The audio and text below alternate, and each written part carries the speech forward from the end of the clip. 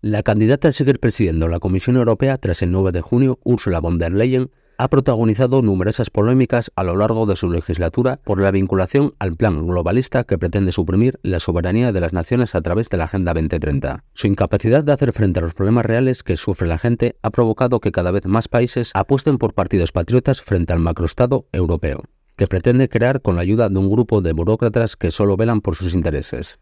Estas han sido algunas de sus políticas que más críticas han recibido. Gestión de la pandemia. Fueron varias las polémicas que protagonizaron en perjuicio de los europeos. Recientemente hemos conocido que la demandante Pathfighter, por el que se le acusa a su pareja de enriquecerse con el contrato de distribución de vacunas, han solicitado muchos políticos su destitución por estar siendo objeto de un procedimiento penal y posible corrupción. Hipocresía climática. Pese a que el Partido Popular trate de convencer a agricultores y ganaderos que el Pacto Verde Europeo y la crisis del campo es culpa de Pedro Sánchez, que también, la realidad es que Bruselas se ha comprometido a alcanzar la neutralidad climática de aquí a 2050, y el sector primario está sufriendo imposiciones que le condenan a reducir drásticamente su producción o desaparición por no hablar de la competencia desleal de países que no pertenecen a la Unión, pero son considerados aliados.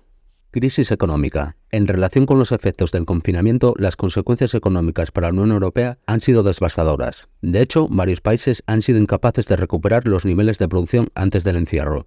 Entre los que se encuentra España, cientos de millones de euros se han invertido en proyectos de reconstrucción, pero el efecto no lo han notado los ciudadanos de a pie. El endeudamiento público de Bruselas supera el 80% según datos de Eurostat. Caso Hungría. Mientras von der Leyen ha esquivado la amnistía considerándola un asunto interior español, pese a que tribunales como el Consejo General del Poder Judicial la han considerado inconstitucional y la mayoría social la ha rechazado, ha expedientado a Hungría en más de una ocasión por iniciativas demócratas como la Ley de Defensa de la Soberanía para proteger de las injerencias de magnates globalistas como Soros, o la iniciativa de regular el acceso para el contenido LGTBI.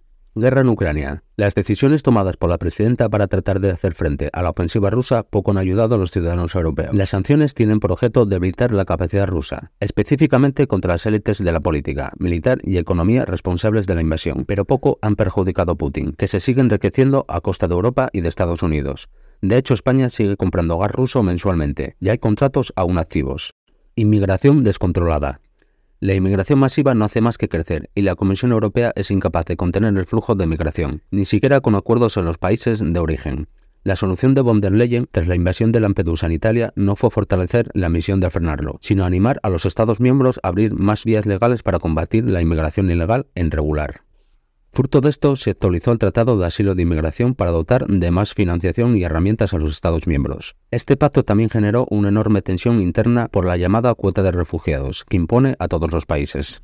Polarización en Europa. Durante la campaña han sido dos los políticos que han sufrido atentados de extrema gravedad, Robert Fico y Michael Zuckerberg, recientemente. Sin embargo, la reacción de las principales terminales mediáticas ha sorprendido por el señalamiento a la víctima. El recientemente ocurrido el viernes lo tildaron de radical o antiislamista. Eso sí, pocos se atrevieron a revelar que uno de los atacantes era de extrema izquierda, en el caso de Fico, y el otro de origen afano.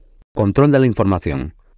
Von der Leyen ya ha hablado abiertamente en los últimos días de la iniciativa de escudo europeo de la democracia. Se trata aparentemente de legislar para poder utilizar la inteligencia artificial con el objetivo de combatir la desinformación y la manipulación extranjera. Pero en la práctica, si se investiga en qué consiste este escudo, se llega a la conclusión de que Bruselas utilizará la inteligencia artificial para controlar todo lo que lean, escuchan y vean los europeos en Internet.